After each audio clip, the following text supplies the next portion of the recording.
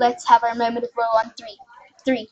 Whoa. Do you need to study for a science test? Well, if you answered yes for any of these questions, you should try our standing wave rope. This is how it works.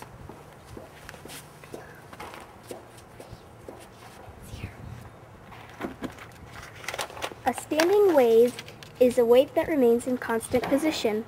This occurs when a medium is moving in the opposite direction of a wave, or it can happen when two waves going in opposite directions interfere. If I move this rope up and down, a standing wave occurs. If I move it faster, the frequency of the waves and their size changes.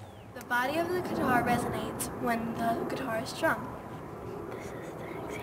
This is an example.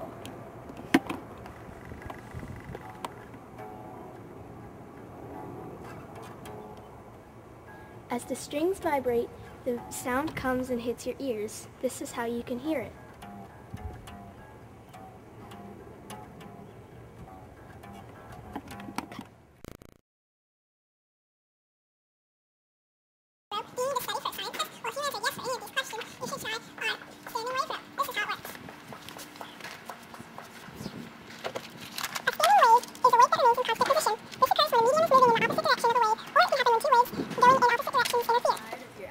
Rope.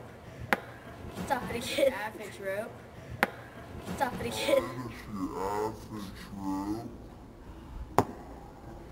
Stop it again.